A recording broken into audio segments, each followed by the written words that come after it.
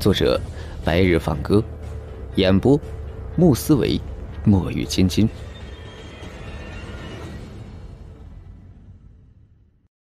两千四百一十六集。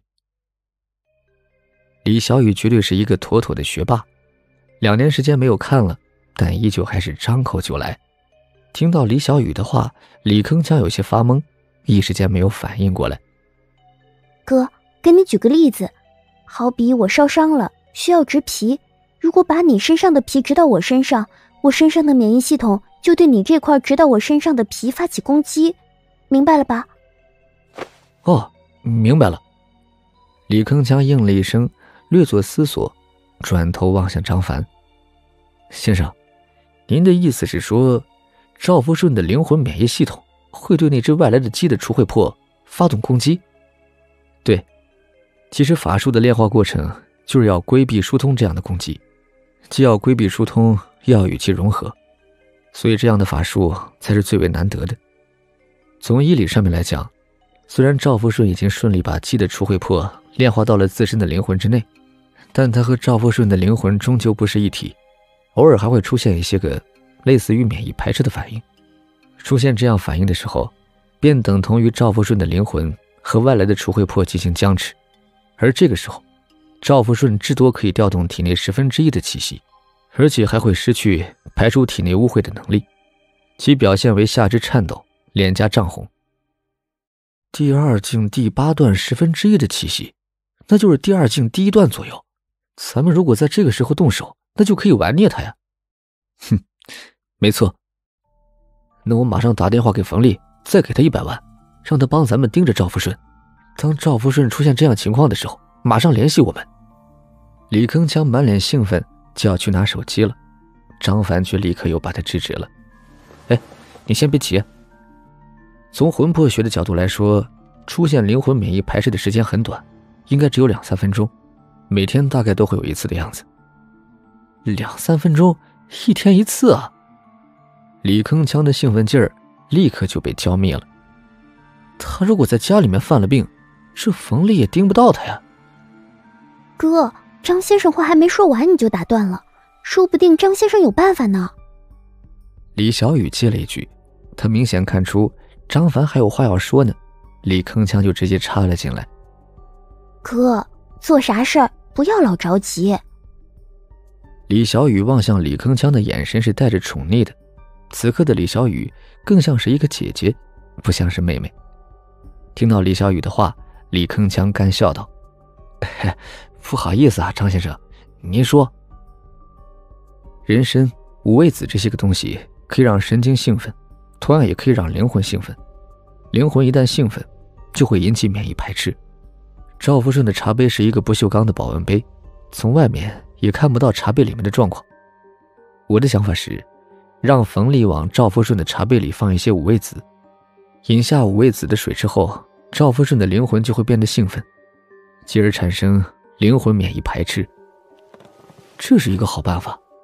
不过赵福顺喝出了五味子的味道，他如果不往下咽，吐出来，这可怎么办呢？少量的五味子不会有什么大的味道，更何况茶杯里面还有茶叶，应该是发现不了。那就好，我马上到中药店里面去买五味子，然后再拿个一百万给冯丽送过去。张凡微笑点头。李铿锵兴奋的马上去了。大约一个小时以后，李铿锵满脸笑容的返回。张凡问道：“怎么样，成了吗？”“成了，不过很是艰难。最后我把赵福顺的身上有数条人命的事情给搬了出来，才把他给说服。另外，赵福顺那个人是真的小心呢。他茶杯里面那个小茶漏居然是银的，喝水之前都会拿出来看一眼。想给他下毒，可真的是太难。”幸亏里面放的是五味子，这东西也没毒。哎，对了，冯丽跟赵福顺进公司的第一件事就是要帮赵福顺泡茶，这对于咱们来说可是一个好的机会啊。好，那咱们明天早上就去。随后三个人又闲聊几句，张凡便回房间休息了。第二天，张凡和李铿锵吃完早饭，便出发去了景区的管理处。李铿锵身上没带零食，还在车子里面等候。张凡则是再次的到了那张藤椅之上，在藤椅上坐了没多久，说来也巧，那个背头老大爷再次到了张凡的身边。小伙子，还没走啊？哦，没走。我听人说了，你去找了赵福顺，结果还被人家给轰了出来，而且赵福顺还专门开了内部会议，说是不让你再进门了。对此，张凡并不惊讶。如果赵福顺真的为此开了会议，背头老大爷这样的一直关注景区事情的人，他能知道也不足为奇。小伙子呀，做人做事得走正道，不能老想着投机取巧。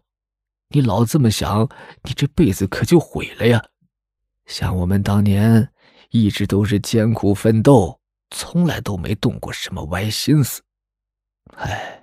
也不知道现在是怎么了，到处都是趋炎附势、溜须拍马，但就是非常的受用。你说气人不气人呢？就在这个时候，张凡的手机响起了短信的提示音。我已经亲眼看到赵福顺喝下了水了。张凡刚刚读完这条消息，紧接着又收到了冯丽的第二条消息：赵福顺的脸已经变得涨红了。张凡立刻给李铿锵发了一条短信，而后身体化作一道流光，冲向了景区管理处。哎，小伙子呀，你在听我说话吗？背头老大爷见没有人回应，下意识回头看了一眼，他正好看到了张凡化作一道残影的身形，顿时就惊讶地瞪大了眼睛。现在，现在年轻人的身体素质都这么好了吗？张凡速度飞快，将走出来想要拦住张凡的保安弄了一个趔趄。又由于张凡知道赵福顺的房间位置，这次并没有走电梯，纵身一跃便上到了三楼的空调外机上。再次一跃，伴随着玻璃碎裂之声，张凡直接便进到了赵福顺的办公室里。而此刻，满脸涨红的赵福顺正满脸惊讶地望着张凡：“竟然是你！”